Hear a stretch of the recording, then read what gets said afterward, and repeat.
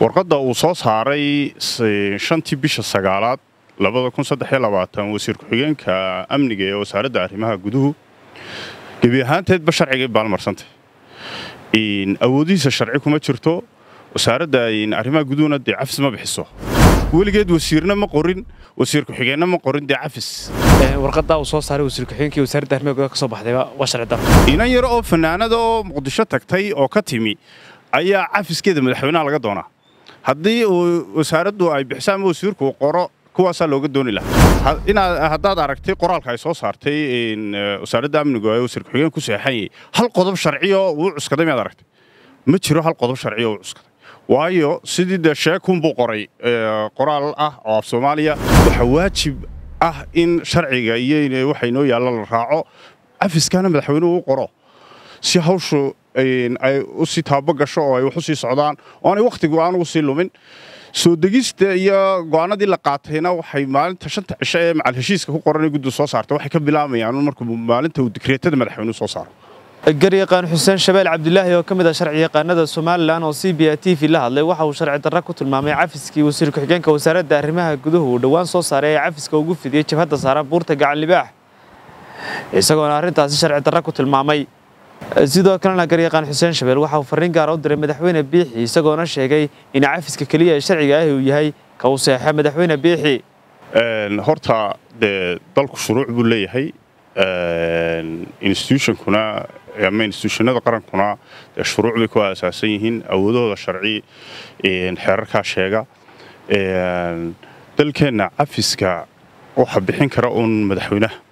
Suu dastuurku dhigayo qodobka sagaashanaad faqraddiisa shanaad cid aan madaxweyne ahayni cafis ma bixiso warqadda uu soo saaray shantii bisha sagaalaad wasiir ku-xigeenka amniga ee wasaaradda arrimaha guduhu gebi ahaanteedba sharcigay baalmarsantay awoodihiisa sharci kuma jirto wasaaradda arrimaha guduhuna dee cafis ma bixiso xeerka waayo haddaad eegto xeerka kala xadaynta xukuumadda waxaa la yidhaahdaa xeer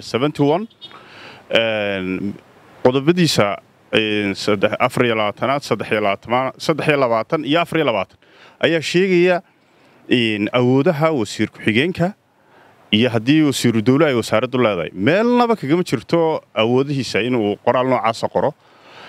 Dastuurku wuxuu sheegayaa markuu madaxweynuhu cafiska bixinayo uu qodobka sagaashanaad cuskanayo marka uu la tashado buu odhanaya instituushannadii ay khusaysay markaa wasaaradda arrimaha guduhu waxay ahayd instituushannadii ay khusaysay marka ay eegaan xaaladaha iyo shuruudihii looga baahnaa iyo nidaamkii iyo wixii inuu fulay inay soo jeedin bay iyadu leedahay ay madaxweynaha u qorto.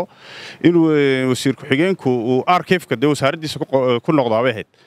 Weligeed wasiirna ma qorin wasiir ku-xigeenna ma qorin dee cafis inan yar oo fanaanada oo muqdisho tagtay oo ka timi ayaa cafiskeeda madaxweynaha laga doonaa haddii uu wasaaraddu ay bixiso ama wasiirku uu qoro kuwaasaa looga dooni lahaa.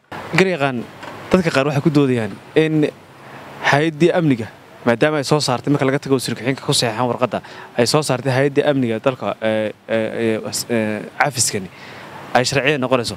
Bal arrintaasi sidee macquul? Wasaaraddu waa hay'addii amniga amniga iyo cafisku waa kala laba dee amniga ay qabato wasaaraddu instituushano badan baa amniga ka shaqeeya. Keligeed kama shaqayso hadday ciidamada tahay iyo hadday wasaaradda arrimaha gudaha tahay iyo hadday bahda garsoorka tahay iyo qof walba xayndaab sharci buu leeyahay meel bay awoodihiisu ku xadidan yihiin wasaaradda arrimaha gudaha xayndaabkeeda sharci ama awoodaheeda sharci ma gaadhsiisna in ay bixiso cafis la siinaya jabhadda intaa leeg ee miisaankeedu intaa leegyahay dee awood sharcina ma laha. Haddaad aragtay qoraalka ay soo saartay wasaaradda amnigu ee wasiir ku-xigeen ku seexanyay hal qodob sharciyo uu cuskaday miyaad aragtay? Ma jiro hal qodob sharciyo uu cuskaday. Waayo sidii dee sheekunbuu qoray qoraal ah oo af soomaaliya laakiin qodob sharciyo awood u siinaya ama xeer uu tix raacayo oo awood u siinayaa ma jiro. Waa sababta loogu qori waayey qoraalkaba. Haddii ay jiri lahaayeen madaxweynuhu iminka markuu cafiska qoraya wuxuu odhanaya anigoo cuskanayo qodobka sagaashanaad faqraddiisa shanaad ee dastuurka waxaan cafis siiyey sidoo kale anigoo tix raacaya go'aankii aan aqbalay ee ay soo saartay guddida dhexdhexaadintu waxaan cafis siiyey jabhadda noocaas iyo noocaasa madaxweynuhu qorayaad. Wasiir wasiir ku-xigeenka qoraalku soo qoray waa iska sheekawn af soomaaliya. Hal qodob sharci uma cuskan. Awood uma lahaa awoodaha sharci. Meelnaba dee iyo xeerarka dalka kagama jirto.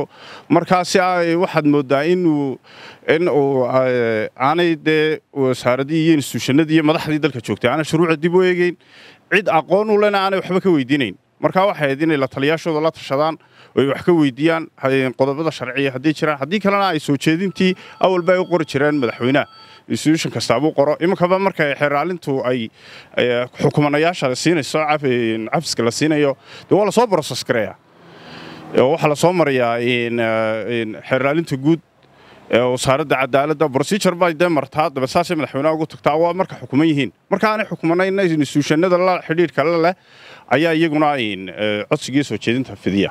Laakiin wasaaraddu codsigii soo jeedin ay madaxweynaha leedahay madaxweyne maadaama shuruudihii ay buuxiyeen hawshii laysla wada qaatay waxaan soo jeedinaa inaad cafiska u qorto. Ayay awooddeeda ku koobnayd markaan soo dubno warqaddaa uu soo saaray wasiir ku-xigeenkii wasaaradda arrimaha gudaha ka soo baxdayba waa sharci darro. Warqaddaa wasaaradda arrimaha gudaha ka soo baxday waa sharci darro. Wax cafis lagu bixiyana maaha si heshiiskaa dhexdhexaadinta iyo dadaalada ay ummadda reer somalilan oo dhan u kacday ay u hirgalaan nidaamka sharciga ee waddanka ka jirana loo ilaaliyo oo qaranka iyo instituushanadu ay noogu sii socdaan waxaa waajib ah in sharciga iyo waxa inoo yaalla la raaco. Cafiskana madaxweynuhu u qoro si hawshu ay u taabo gasho oo ay wax u socdaan oo aanay wakhtigu aan ugu sii lumin. Soo degista iyo go'aanadii la qaatayna waxay maalinta shanta cisho ee macal heshiiska ku qoran ee guddu soo saartay waxay ka bilaamayaan markuu maalinta uu dikreetada madaxweynuhu soo saaro inta ka horraysa dee dadaaladaasunbaa soconaya sharci. Markaa waxay ku habboon tahay si aanu dee muran iyo khilaaf iyo howluhu inoogu sii soconin oo nabadeenna iyo xasiloonnida dalka iyo dadkaba wadantaa aynu uga wada shaqaynayn wada jecelnahay dee in procedureka la dhammaystiro oo sharciga loo soo noqdo si aanu ayaanu soo jeedin lahaa madaxweynaha iyo cid kastoo ay khusaysaba ibrahim jokar c b a t v hargeysa